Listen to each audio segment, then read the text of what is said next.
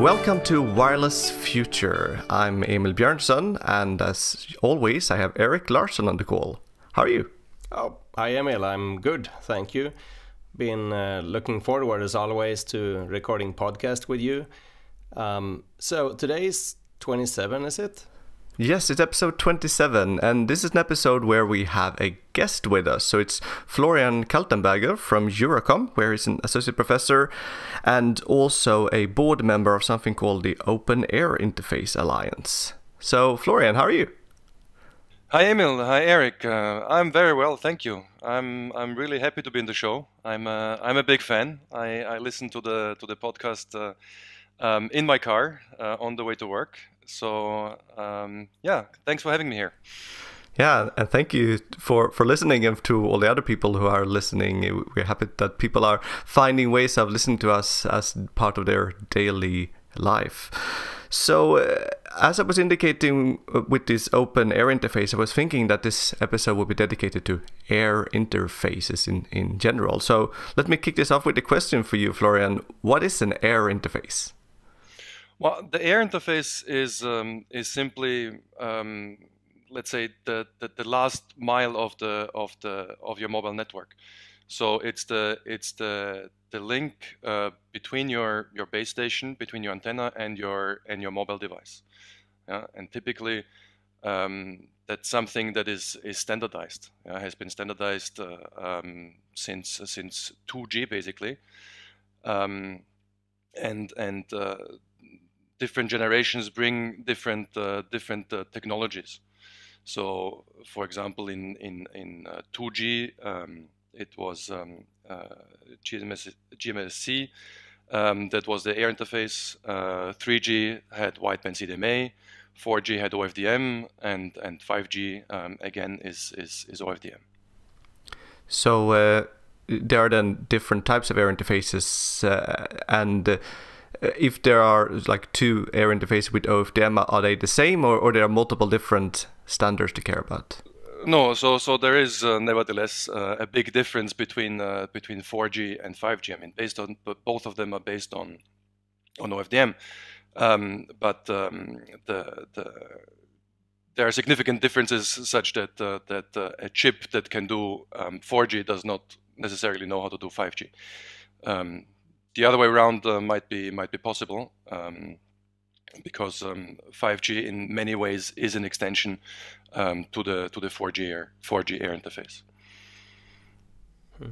Uh, so, I mean, you mentioned modulation here, right? Like OFDM, but is does the air interface also consist of like other components, like oh, multiple absolutely. access and random access and so oh, forth? I mean, yeah, is, yeah, it, yeah. is it a correct understanding that the air interface is everything that happens like well at the access point or i mean the bits come in in packets in some form right? And then they are converted onto waves that are sent over the ether. And, and the air interface really comprises everything there modulation coding random access um, and so forth. Uh, is that like an accurate definition? Yeah. Yeah, yeah of course. I mean there are um, the there are multiple layers um, even in the even in the radio access network. So typically you have the, the, the PHY layer, the physical layer that takes care of the of the modulation and coding. Um, then you have the, the MAC layer that takes care of, of, of, of multiple access between um, different users and also um, multiplexing between uplink and downlink. And then you have um, even even some more layers on, on top, like the, the, the RLC um, that also has another um, layer of, of, of retransmissions. Um, and the PDCP, which is then the interface to the uh, to the to the core network. So all of all of these layers, of course, work together to ensure that uh, you have a, a reliable link on the on the radio interface. Mm. So are all the components of the air interface standardized? I mean, if we take 5G as an example, um, is everything in there in the standard, or are there parts that are left to the implementation that, that the vendor can can decide decide freely? Uh, absolutely, there, there there are certain parts um, that are um, not described in the standard. That are actually not needed to be described in the standard. So let's take for an example the, um, the channel coding. Yeah, in 5G, in 5G, this is um, LDPC, uh, low uh, density parity check coding. So uh, the standard simply describes how to encode your data. Yeah? So um, and this is basically everything you you need to know. Then it's up to the to the vendor, to the chip maker, um, to to find an algorithm that uh, that um, implements that um, an, an efficient decoder yeah, that uh, with a with a low error probability and with uh, with low energy consumption. Yeah, so these mm-hmm. these parts are typically not not described in the standard.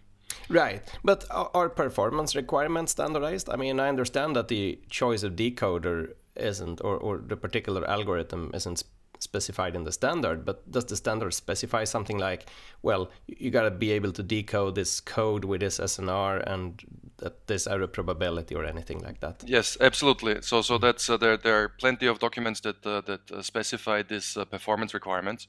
So. 3GPP, uh, who is the organization who, who does the standardization, um, they they even provide you with uh, with channel models um, that that tell you exactly. So in, in in this and that condition, um, you so with that channel and that SNR level, you need to be able to achieve 70% um, of the of the peak throughput um, for this type of of, um, of modulation encoding scheme. Mm. So it's so really that, like the the standard tells you what you should be what you must be able to do, but not necessarily how to do it. Exactly, exactly. Mm. Yes, the standard also specifies. Um, so that's actually new in, in 5G. The the, uh, the minimum amount of, of, of receive antennas that you have to put in your um, in your in your handset. Um, well, no, I think it was already for, for 4G they put two antennas, and for 5G this is now five, uh, four antennas. So these performance requirements, of course, take that into account. So so you have to be able to achieve that with um, this amount of antennas, but nobody tells you um, you can put uh, to put more more antennas in the in the handset if you if you want to to make to have even better performance than than required. So you are involved in this Open Air Interface Alliance, which has a tagline 5G Software Alliance for Democratizing Wireless Innovation. So so what do you mean with that tagline and what is the alliance all about? Well, so um, open air interface. So the emphasis is on the open. is is actually an an open source project. Yeah, so um, and it has been around for um, for a while now. Um, so it started even before I, I came to EURECOM.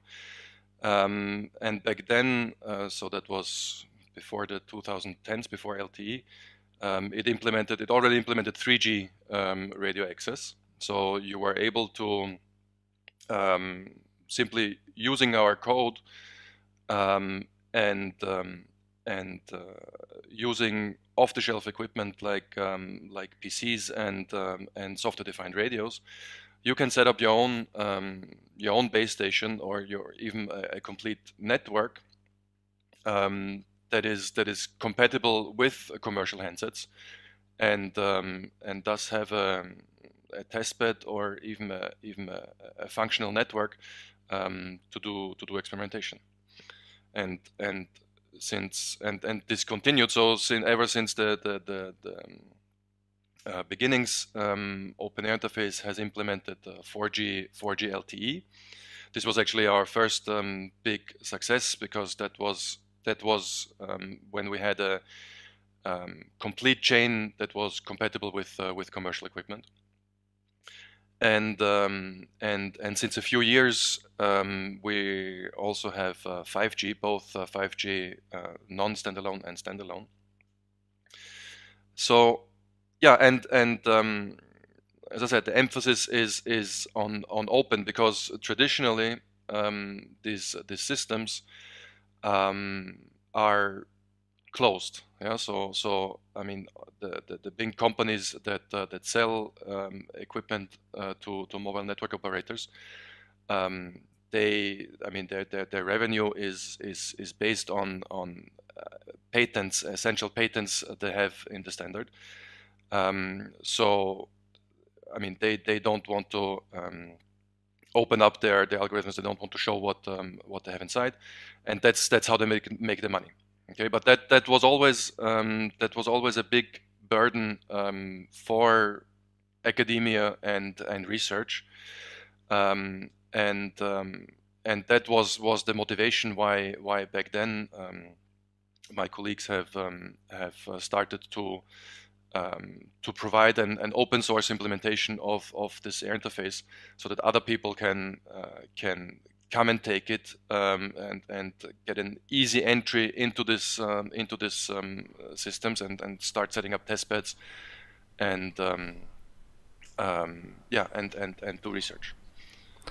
So then, in addition to EURECOM, which is obviously a partner in this alliance, uh, you also have some other sponsors and contributors. Uh, who are, are they, and what are their sort of roles or interest in this project? Yes, um, absolutely. So, um, a few years back, I think it was uh, 2014, um, we we started to um, to set up. So, so, so, when when the when the interest really really increased, um, EURECOM was in a in a in a difficult position, and then we we couldn't manage the um, all the requests and and all the activity around it anymore. So we created this um, this uh, alliance called the Open Air Interface uh, Alliance, which is a, a non-profit um, um, entity which is um, founded by EURECOM, but which is basically apart apart from EURECOM. And um, this uh, this entity um, is is is a so-called endowment fund. So we, it, it is allowed to to receive uh, donations, and and these donations um, allow us in the allow us to to um, hire uh, a, team of, of engineers to be able to to and managers to be able to maintain uh, the, the code to, to make sure that um, contributions to the code uh, fulfill certain quality requirements. Um, to have we have a certain um, quite a sophisticated uh, uh continuous integration process, meaning that that, that there is uh, testing for every code that is contributed. There's there's testing. And so there, there indeed there are a lot of companies who who have in, who have interest in um, in in having such an organization um, running and, and ensuring the quality of the code. And um, for example, uh, so we have strategic members. Um, if you allow me, I, I, I, would like to list them. Yeah, please. Um, there's there's Orange, uh, so the, the mobile network operator Orange. Um, there's uh, Fujitsu, uh, equipment manufacturer. Um, there is um, Sequans, uh, another um, chip manufacturer here in, in France. Uh, we also have Qualcomm. Um, quite uh, quite happy to have Qualcomm on the on the board. Um, who is quite a leader in in, in making chips for for um, 5G handsets. Um, we have uh, Meta connectivity, so formerly known as uh, as Facebook. Um, we have uh, Xilinx, the the makers of of FPGA. And um, another entity that is maybe not so well known, um, which is called PAWR, uh, the Platform for Advanced Wireless Research, um, which is um, an, an, organization in the United States um, to, to build next generation advanced wireless uh, platforms. Hmm. That's a rather wide array, of partners, uh, quite impressive indeed. So, just so that our listeners and also I will understand this properly. um, so Open Air Interface is mainly software, is that right? Or do you also develop hardware? I mean, I think you mentioned that you could run Open Air Interface on like pretty much any set of PCs and SDRs or software-defined radios, but is Open Air Interface the software only, or does it also have like hardware components that come with it?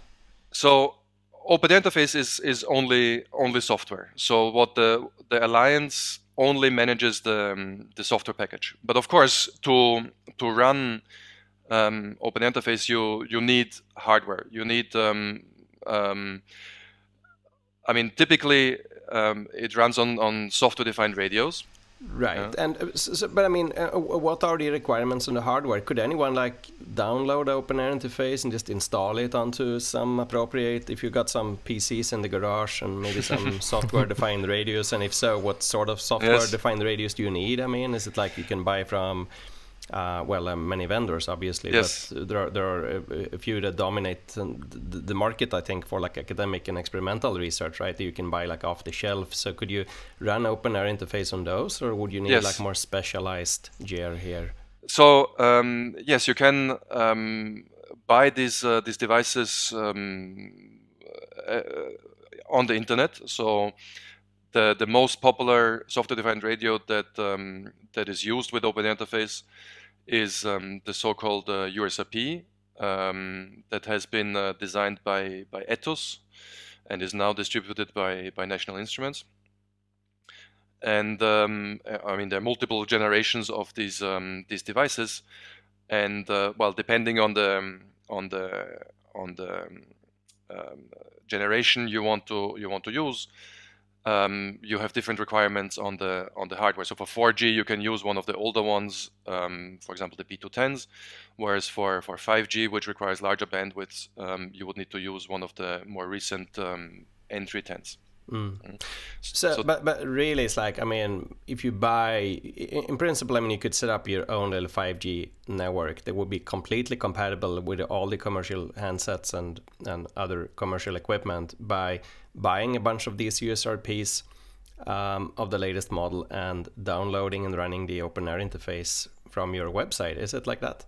Um, yes, uh, yeah, it's it's it's more or less that. I mean, there, there are a few other small pieces that you need. You need antennas, and, and depending on on which uh, which band, um, which which frequency range you want to you want to do, um, you might need other equipment. So, for example, if you have if you have TDD, um, then then typically we, we you need a, a front end that, that, that switches between uplink and downlink, or in some cases a circulator would uh, would do too.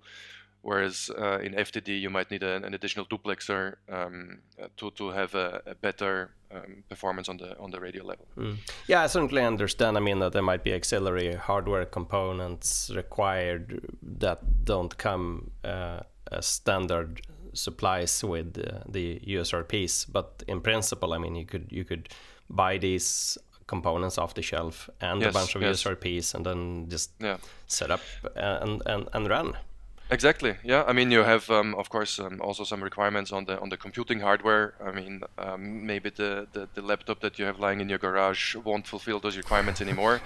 so you need a bit of a um, of a of a PC that is more um, up to date. Right. Um, but uh, yes, I mean, uh, in total, I think for uh, for a few thousand uh, euros, um, definitely less than ten, you can you can set up your whole 5G 5G system. Wow, that's quite amazing indeed. So yeah. so what program pro programming languages are used here? I mean, how is OpenAir interface implemented? Um, so uh, I would say 99% is uh, is C, so classic classical C, because we do um, we do try to optimize our code as much as possible, and we do actually rely a lot on on a, a specialized instruction set that you have on basically on every modern uh, modern um, um, chip. Um, so we use this vector processing um, um, instructions, SSE and AVX, to because otherwise you would never be able to run this uh, this thing in real time on a on a classical computing um, infrastructure. So you mentioned earlier that uh, for the the conventional vendors, uh, patents is a big thing for getting revenue. So if I would now download and buy all this stuff that you mentioned, can I just uh, and I would get the license, of course, for, for Spectrum can I just run it, or do I need to get an agreement when it comes to licensing patents from the big vendors, yes, or how does yes. it work? Very good question. Thank you. Um, so one of the contributions from Open Interface is also the the Open Interface um, um, um, open source uh, license. Um, so classical open source licenses uh, basically are not compatible with um, um, with patents. So when you the meaning that that um, when you when you own a patent and you decide to implement the, the, the, technology in open source and, and give it out in open source, basically you, you lose your rights to your to your patent with classical open source licenses. Um, and um, but we basically we, at the Open Interface we wanted to, to, to merge both worlds and we created this uh, this uh, Open Interface license um, that allows you uh, exactly that. That allows you to have a patent implemented in open source and uh, still uh, be able to to ask for for royalties for your for your code. Um, but that only um, comes into into play when you start using open interface commercially. Yeah, so when you when you go out there and and and uh, make a product, um, for example, a base station that has open interface inside, and you sell this on a large scale, then it would be your responsibility to to go to 3GPP um, and uh, and and figure out how to pay your license fees um, to the um, to the other big players. As long as you use Open Interface just for your own research um, and and and in the lab, and this is explicitly mentioned in the license, um, you don't need to worry about that. Yeah. Um, so you can you can use it freely um, in your in your own research um, without having to pay any fees. Of course, as you said before, you have to make sure if you want to use it outdoors or with uh, let's say significant power that that uh, then you have to make sure you have a license for the frequency that you're using um, because uh, keep in mind that um, 3GPP uh, systems, uh, or at least the classical 3GPP systems, don't work in unlicensed spectrum, so they only work in licensed spectrum. So you need a you need a license. So how advanced are these? I mean, test beds that you can build using our open air interface, and particularly perhaps the test beds that you are building at EURECOM. I mean, do they support massive MIMO, for example? Uh, with lots of antennas, or how, or put it this way, how many antennas can you equip your test bed with and still yes. um, run it with open air interface? Yeah, so of course there are there are limitations. I mean, to to to to the approach, um, so having to run everything in in software um, makes the entry barrier lower. But uh, of course, it's it's it is more complex, and and um, so we can't achieve the same uh, level of performance as you would have with a with a commercial equipment. But we do support MIMO. Um, we have, um, um, I mean, for 4G, we support up to two times two MIMO. Um, for 5G, um, right now we have two times two MIMO, but uh, going on to, on to up to four layers. Um, we had uh, projects um, and and that that's that's about as many antennas as we have also deployed here at uh, at EURECOM in in in our testbed. Mm. So, so, but, so, you aren't. I mean, if I understand this well, you aren't really at massive MIMO yet, um, right? I mean, uh, you said four streams or four antennas is quite far yes. from like maybe 64 or like 100 antennas. Uh, well, but um, no, but but uh, keep in mind that the, the, number of layers is not the same mm. as the number of antennas. So, oh, no, so sure. we, we, we did have we did have a project um, where we did massive MIMO. Mm. We had an antenna array of um, I think it was 64 antennas. Um, that um, and and we were doing experiments um, of of using channel reciprocity for for massive MIMO so that we have um, we have uh, we have done in the past um, and um, that was I think we managed to do up to up to two streams. So we were able to we were able to serve two users in in parallel um, with this uh, with this massive MIMO test. Mm-hmm. Yeah, I think that was my real question. I mean, so, so, if I got you right here, you said 64 antennas, but uh, but only two streams exactly um, through spatial multiplexing. Um, right, and that is with TDD fully digital reciprocity based beamforming yes. then.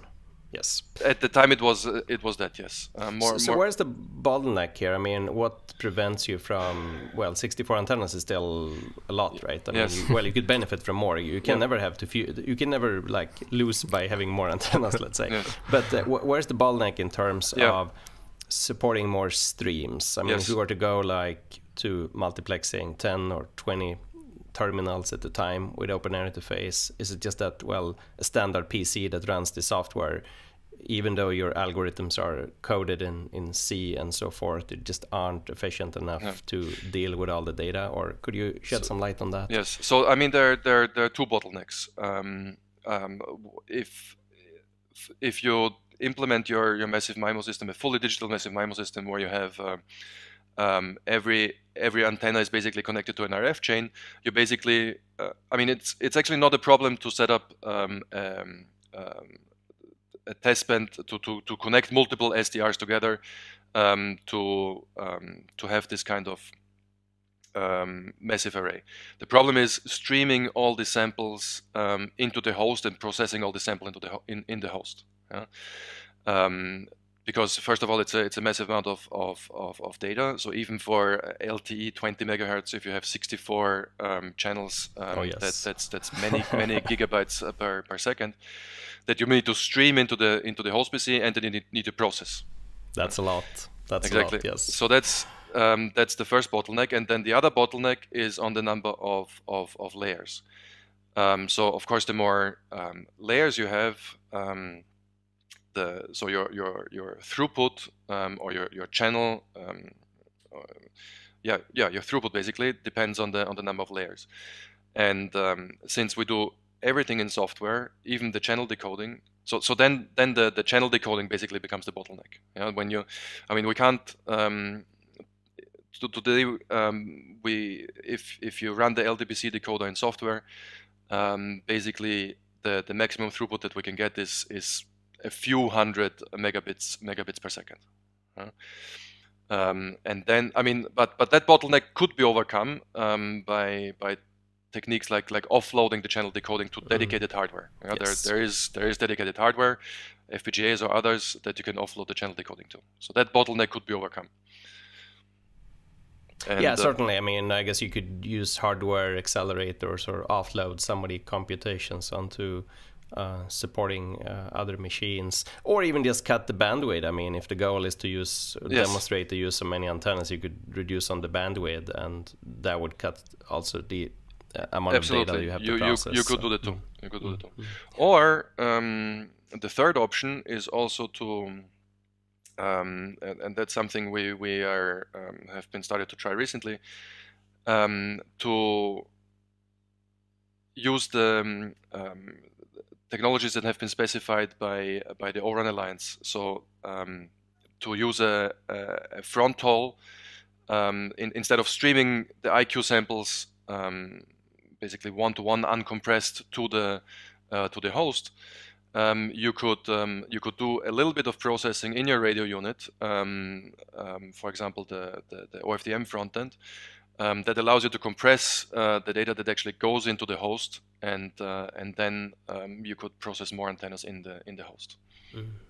Yeah, I always like to think that you'd like you probably want to move as much of the processing to as close as the uh, as, as close as possible to the antennas, right? Yes, but yes. at the same time, my impression has been that the philosophy behind open air interface that you you collect all the data to like a central place in a PC, and then you do all the number crunching there, and this just makes it somehow. I understand. I mean, the, the computational challenge when you have a lot of antennas and, and high bandwidths, but in principle, you can run everything on a single um, on a single machine, right? Uh, with, efficient code in, written in C, and then, but, but but even so, you'll at some point hit the wall in terms of how much bandwidth you can support and how many antennas you can support and how many streams that you can multiplex yes. and so on. Yes. Yeah, so great. Mm.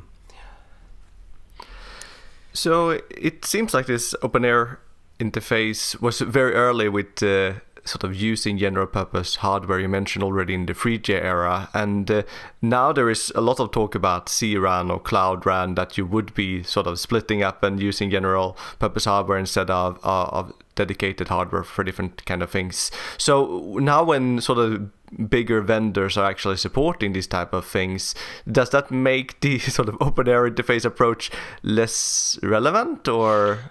No no quite uh, quite the opposite actually. Um, because that that increased the the interest in open interface. Because we were um, one of the first ones that that actually um, you know proposed this approach to do everything in software. You know, before it was long before people um, started to, to to use the term uh, cloud RAN or or virtualized uh, virtualized RAN. And and and I mean this is one of the reasons why why open interface became so popular because people um, see it as a as a as a tool um, for for Cloud RAN. And and I remember one of the the first um, um, basically use cases of open interface that was um, that was done completely outside of of, of EURECOM um, was a demonstration um, by I think it was uh, China Mobile at the at uh, at one of the uh, Mobile World Congresses where they showed a Cloud RAN demo that was based on on Open Interface. Uh, that was um, oh I'm trying to remember, but that was um, definitely more than five years ago. Yeah, I think they were sort of publishing some papers about that they wanted Cloud RAN almost 10 years ago or something like yes, that. Yes, yes. and they were using OpenInterface as as the first proof of concept for for for this. Huh? Hmm. Yeah, so returning, I think you mentioned earlier this Open RAN. Um, could you elaborate a little more on like the relation yes. or how open air could could open air, air interface benefit from Open RAN or, or, or vice versa or um, how, do, how do you see the relation there and how do you see that particularly playing yeah. out like in the long term so Open RAN um, uh, let, let me just quickly explain is is a kind of evolution of the um, of this uh, of this uh, cloud RAN concept um, and um, basically resulted in a in a, another organization called uh, ORAN, simply, um, which uh, which produced a set of specifications that uh, that kind of standardize um, the architecture of an of an Open RAN network. Um, and and the key concept here is that um, um, they they introduced a, a set of interfaces um, within the the existing specification of 3GPP um, that allows you to, to separate certain functionality within the radio network. And, and, and that further allows you to, um, to, to basically run most of the components um, of, a, of a radio network on general purpose um, hardware in a, in a virtualized infrastructure. And um, as I was saying before, I think um, open, open, the concept of Open RAN together with um, um, software, open source software like Open Interface, is is the perfect marriage. Yeah? So they they um, they they perfectly go together um, because Open Interface basically delivers the the software that allows you to run um, um, several components of an of an Open RAN architecture in a in a virtualized environment. Yeah, but, uh, but it's not it's not the same thing. So so the the open in Open RAN does not refer to the same thing as open in the open interface. So the open in Open RAN refers to the to the open interfaces between the different components. The different components could still be closed. Yeah? Whereas in open interface, it's really the, the, the software is open. The so if you if you put if you put the two yes. together, you have basically a, a double open uh, open system. Yeah? Yes, but that's an important distinction, right? I mean, yes. open here means different things in the in the two different terms. Yes, exactly. Yes. Yeah, and if I understood correctly, one of the goals with Open RAN is also that you should be able to more easily buy different pieces of equipment from different vendors and know that they can operate well together. Exactly. Yeah. So, so as I said, they, they, they try to reduce um, the amount of, of specialized hardware that you need. Uh, so basically, in an Open RAN network, the only specialized hardware that you need is the is the radio unit um, and and which is then connected over over fronthaul network to a, what is called a cent- uh, sorry a distributed unit and a centralized unit, and both distributed unit and centralized unit can be run on on on software in a virtualized environment. So um, it's basically a, a, network function, and and you could have um, you can buy this network function from one vendor and maybe the other network function from the other vendor, and if they both um, um, adhere to the Open RAN specifications, they should work together.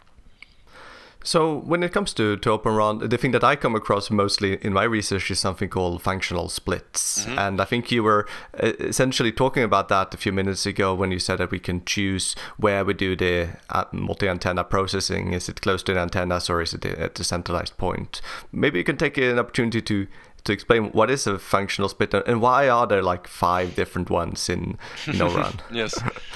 Um, so a functional split means um, that um, uh, yeah that, that basically you, you you you cut the protocol stack of a um, of a, a classical um, base station a G0D um, into into several functions uh, with well-defined interfaces in between.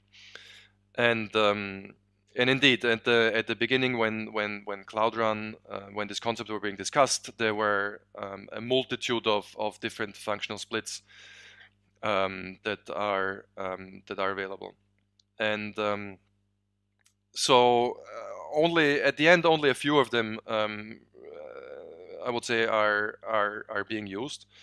So one of them is the split between um, the radio unit and and the so-called distributed unit, um, which um, which is um, in ORAN called the, the 7.2 split, um, which um, which means that that you do the the OFDM uh, processing, so the FFTs and the IFFTs in the radio unit, and and only send the the basically the, the, the, subcarriers that carry data, the, the non-zero subcarriers, um, you send them over the over the fronthaul uh, to the distributed unit.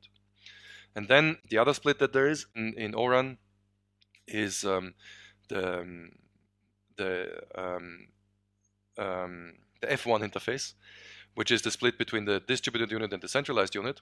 And as the as the name suggests, the the split has been chosen such that you the the these these units can be uh, geographically um, distributed differently. So you would have maybe a, a, distributed unit function you would have close to the edge, so close to the um, to the actual to the actual base station, because all the time sensitive processing happens in there.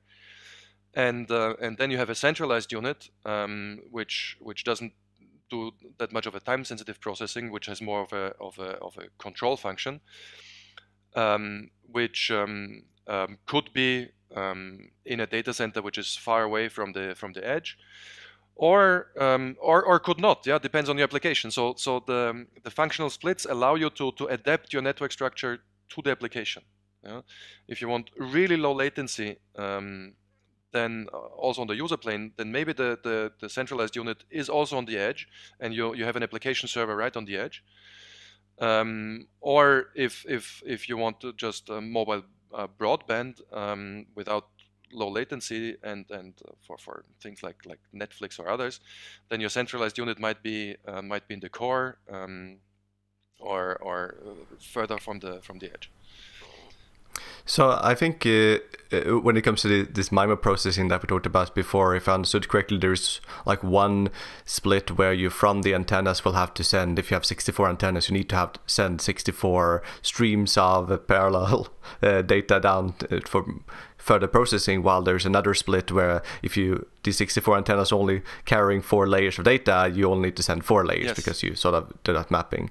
Uh, Yes, yeah. so so that's that's possible too. That's that's part of the ORAN specification that that that that uh, beamforming and or pre-coding um, could also potentially happen in the in the radio unit. Exactly for that reason, so that instead of having to to transfer um, 64 um, uh, you know the, the IQ samples of, of 64 antennas, you only transmit the IQ samples of your of your four layers, and um, and the, the beamforming and the pre-coding is happening in the in the radio unit.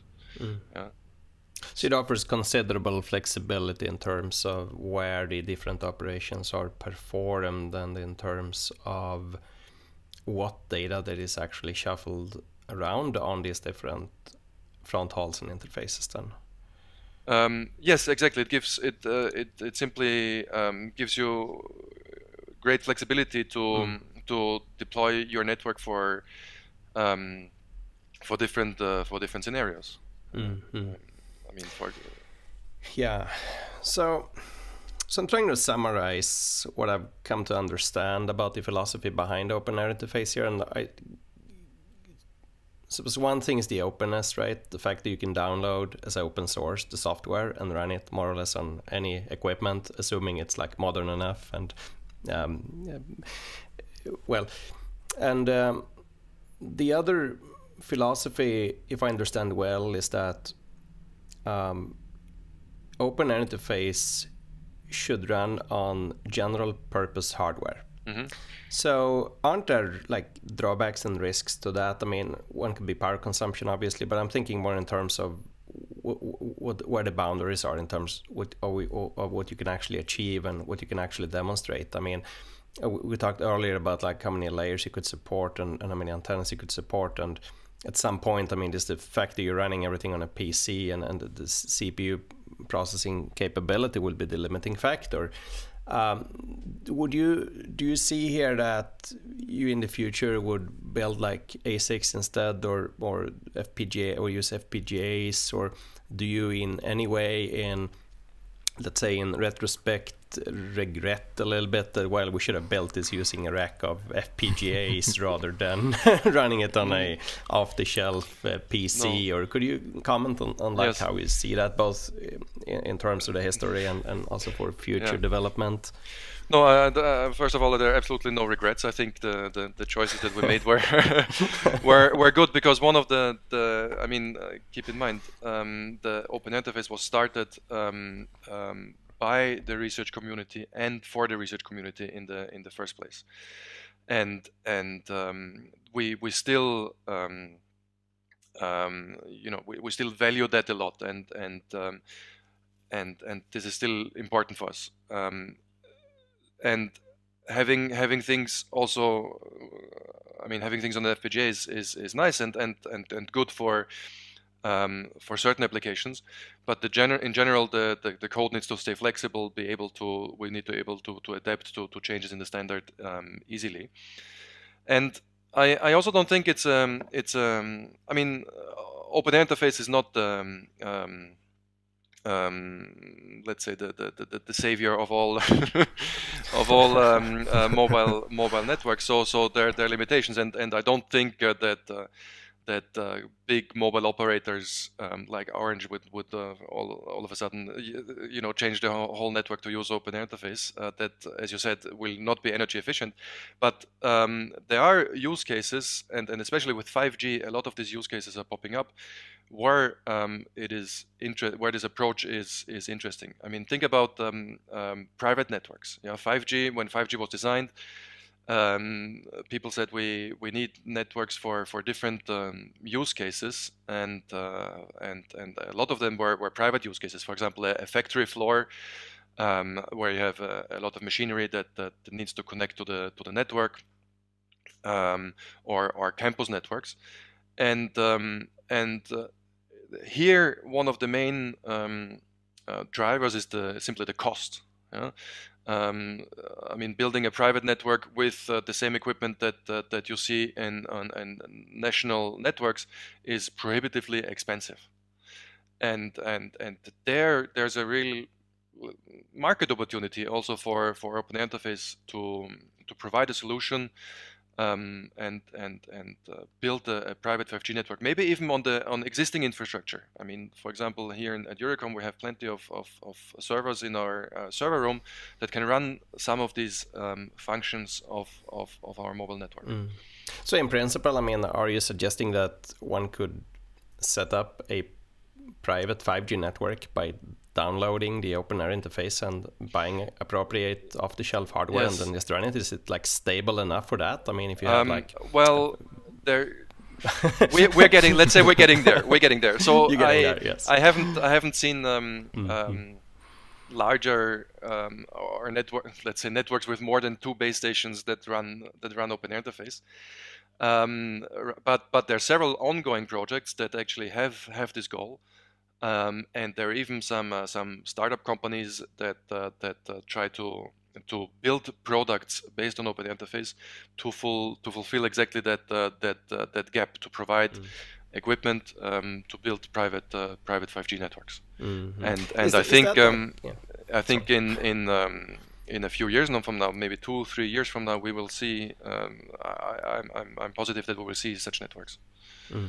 Is that your long term? I mean, you said earlier that open interface was developed was developed by researchers for researchers, right? And I understood that one of the goals was to also lower the barrier in terms of what you need to get started with experimental research and actually building a test bed, which is uh, even 5G compatible here then.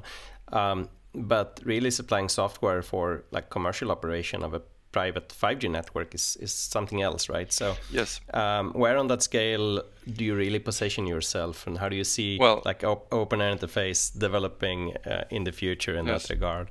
So I'm, I mean, um, personally, I'm a I'm a professor at EURECOM, so my business is is, is research. Um, mm. but so and, and I will keep on using Open Interface for my research. But I, I, I absolutely see a potential um, for Open Interface to be used in, in commercial products, and and it is one of the goals of the alliance to to foster that, to foster an ecosystem, and to support startups um, who want to build such such products. Yeah? So I'm um, I'm not going to do that myself, um, but but uh, we we I, I, would like to see that. So so we are supporting startups um, and other companies, even larger companies, who who who want to do that. And and yeah, you said right. Initially, it was built for research, but but um, it it has changed over time, and and I, I really see the opportunity and the potential here for open interface to be used on a on a commercial scale as well. So you mentioned mostly then the air interface because we asked questions about that, but you also mentioned that we need a core network. Mm-hmm. And if I understood correctly, the Alliance is also having some projects around 5G core networks. Yes. Can you say something about what are the goals there? Yes. Um, yeah, exactly. Open interface. Uh, uh, provides the, the whole the whole value chain. Let's say the so both uh, the the radio elements you need for the radio access network and the elements you need for the for the core network. Now the core network um, um, is is a little bit simple in the sense that um, that um, uh, you, I mean, there, there's no signal processing happening there. So so the the, the requirements on the on the computing is is not that high. Um, so naturally, it can run in a, in a virtualized environment on on on classical um, on classical hardware. But yes, Open Interface provides, in fact, both the solution for 4G uh, core network and for the for the for the 5G core network. Um, um, or let's say at least the, the basic elements that allow you to, to set up the network. I mean, um, there, there, are many things that you can do in the core network. Like, um, for example, we don't provide things like uh, like an entity that, that, provides you with billing capabilities. Yeah, that's not uh, interesting for us. Um, but the basic elements to, to connect the mobile handset to the network is are there. So you mentioned that you are using this in your own research. Can you say something about what uh, you are doing more specifically recently? Um, so yes, um, I mean my I like like you, Emil and Erik. I come from the um, background of, of multi-antenna um, communication, so I did a lot of uh, work on, on on MIMO in my in my PhD and in my my early research days, um, and I was um, um, and I used Open Interface a lot um, to do research on, on reciprocity-based um, um massive MIMO. Um, I also did some um, some experimental research on uh, on distributed massive MIMO. and yeah, more more recently, the research uh, focus has has uh, shifted a bit. I'm uh, I'm I'm uh, these days I'm I'm looking at um, um, uh, actually evolving from that um, from from that research. I'm I'm looking at uh, things like uh, like positioning and, and localization in uh, in 5G networks, which is something which is very important um, for um, for especially private 5G networks. I mean, I mentioned in Industry 4.0 uh, use cases. They, they want the precise positioning indoors, which you can't really do um, with uh, with um, um equipment that you can with with 5G equipment that you can buy today. Um, so um, I'm, I'm, looking at how to use uh, 5G networks or the signals in 5G networks to do uh, positioning and, uh, and and localization. So if we look into the future, then how do you think air interfaces will change over the next five, ten years? And, and people who are starting to get involved into research towards, uh, yeah, future of 5G or, or 6G, how could what should they expect is going to change and is open air interface sort of a research platform also towards the future yes so um, I have to say I'm not I'm not a very uh, big uh, big visionary. Um, so uh, I, I am having a hard time. I mean, I had a hard time uh, imagining 5G when when people were um, talking about 4G, and now I'm having a hard time imagining what 6G will be like.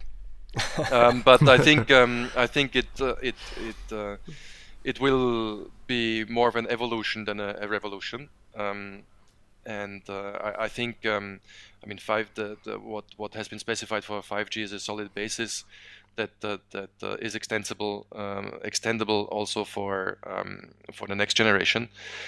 But um, I mean, if I listen to others, then um, what what comes up uh, a lot is is artificial intelligence and machine learning.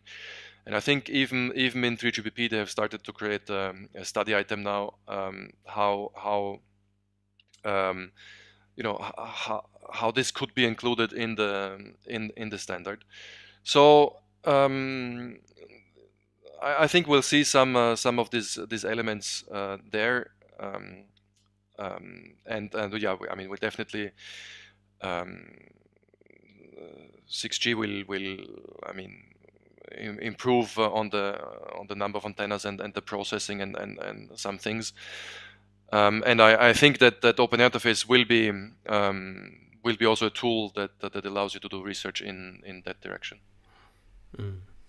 Yeah, indeed, very impressive, and uh, um, found it really interesting to learn more in depth about what you've been up to and. Uh, um, who are really like your main competitor here? I mean, mm-hmm. in the space of test beds and uh, let's say platforms that you can some closed, maybe some open, right? Yes, but, I mean, obviously there are lots of specialized test beds that have been built for a specific purpose. I'm thinking, for example, of the LuMaMi test bed that was developed by Lund University uh, in the FP7 MAMMOET project to demonstrate reciprocity-based um, massive MIMO and TDD with spatial multiplexing and all that.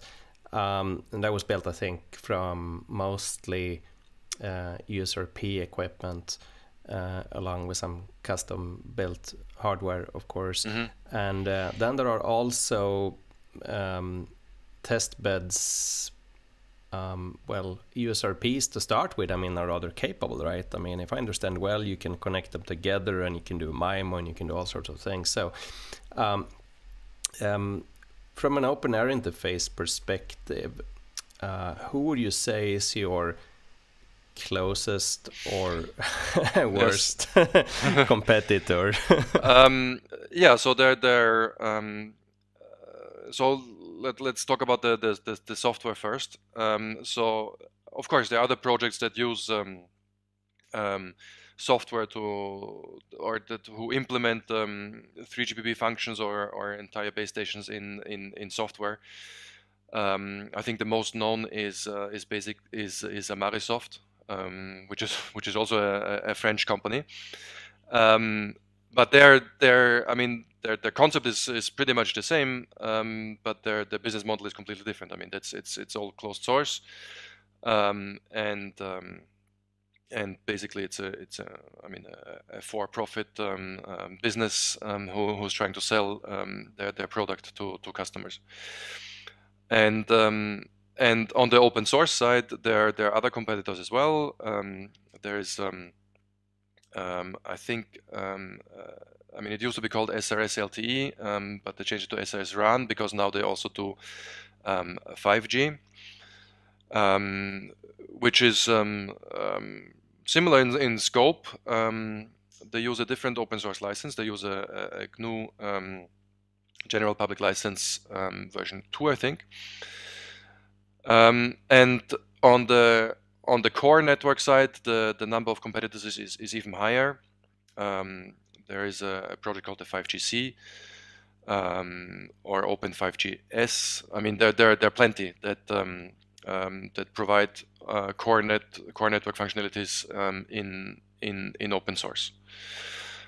Um, but the the let's say the distinguishing characteristics of Open Interface is that it's the, the only project that uh, that is uh, that provide that is open source end to end, let's say. Uh, so from the core network, um, even down to the uh, to the user equipment, we have we have implementation of the user equipment uh, too. So it's the it's the most complete, and also as I mentioned before, it's it's quite un- the, the open source license that we have is is, is quite unique. Mm.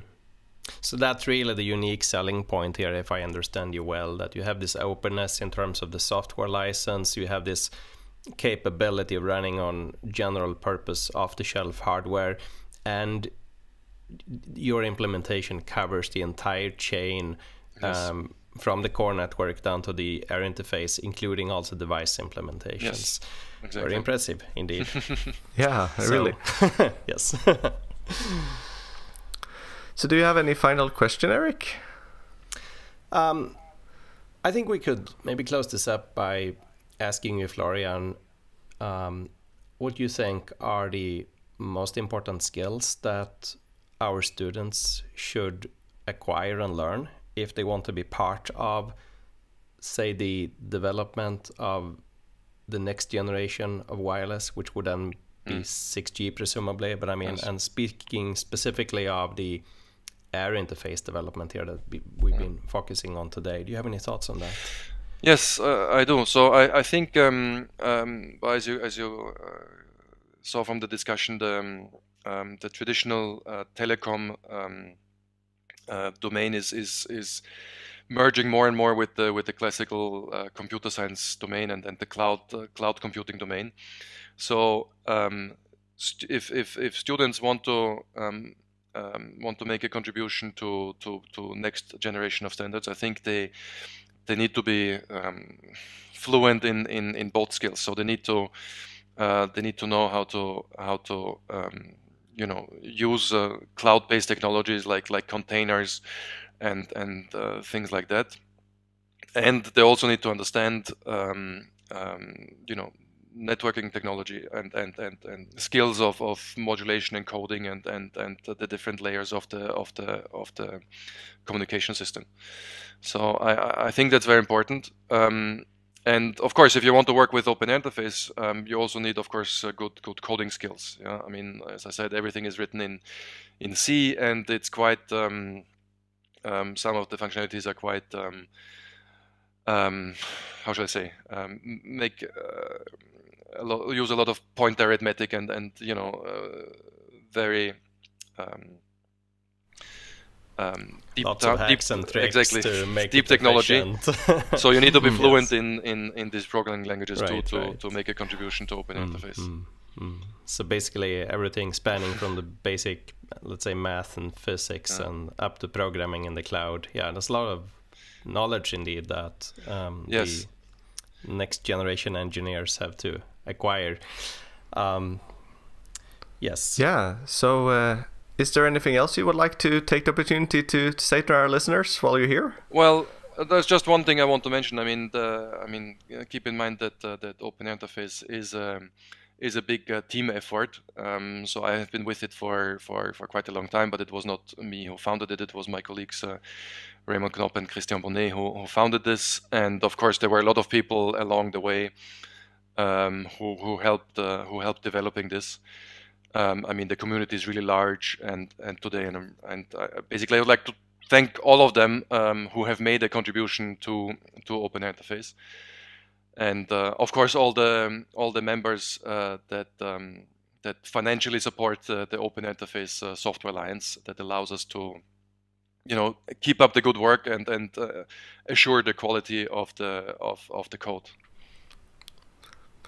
And uh, yeah, thank you very much for, for joining us for this uh, discussion. And it's uh, really exciting to see how, how big and successful and uh, an open uh, project like this can be. Indeed, very inspiring. Thanks a lot. Thank you, thank you, Erik. Uh, thank you, Emil. Has been a pleasure. Um, thank you very much. Yeah, thank you, and see you in the next episode. All right. Bye bye. Bye bye.